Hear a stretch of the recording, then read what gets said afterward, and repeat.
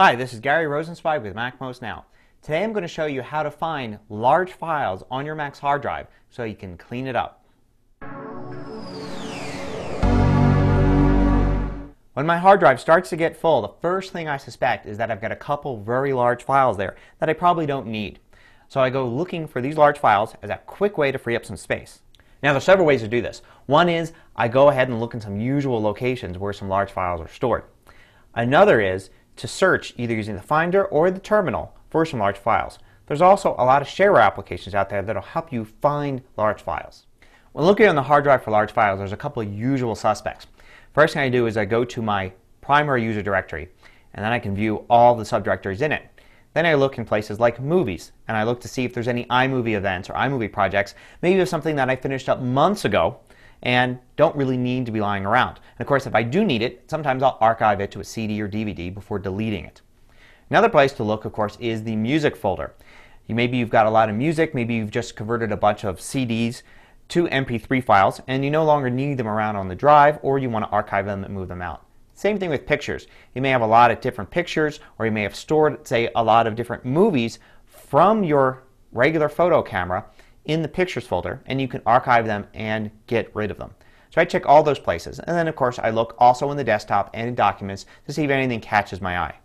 The next thing I do is I do a search for large files. So I usually press Command F to go right to search mode.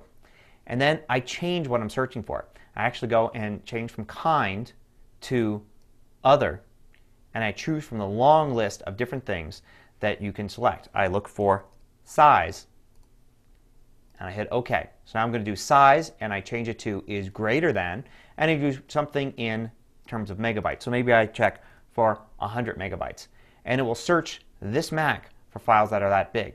Now you can also click on here to search for the current folder you're looking on. So it might have been useful to actually go and click on your user folder before doing this and then we'll find only these large files that are in your user folder.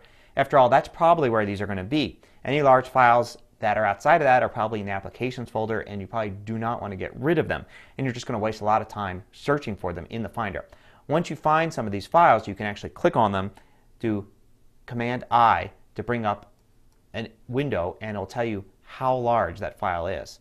Then you can go ahead and right from there select them and do Command Delete to put them to the trash or of course you can archive them first and then delete them. Now you can also do this with Terminal. So in the Terminal window the command you want to use is find and you want to use find and then the path name you want to start looking in. So slash users slash macmost slash to look in my user directory. Then dash size to tell it you want to find files of a certain size. A plus symbol to say greater than this size. And then I put in 2 million for anything bigger than 2 megs approximately. And I come up with a quick list of files. See how fast that was compared to searching the other way? And then you get the full path names. If you're good in terminal, you can actually go and find these files right here and remove them, or you can go to the Finder and find them that way. Now there are also some shareware applications that will help you find large files or determine what folders on your drive take up a lot of space. For instance, you can go ahead and download Disk Inventory X at Derlien.com. You can also download What Size at iddesign.com.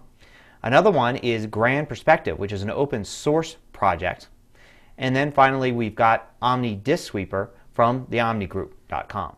Here's what you get when you run Grand Perspective, for instance. You get these big blocks that tell you what folders take up a lot of space. This is that very large file that I've got. I can instantly see that it's there. Um, I can also look ahead and see some of the other large ones, some smaller ones that take up some space. Uh, it's a really quick, good way to get a visual picture of what's on your hard drive. That's a quick look on how to find large files in your hard drive so you can clear them off and make some space. Till next time, this is Gary Rosenzweig with MacMost Now.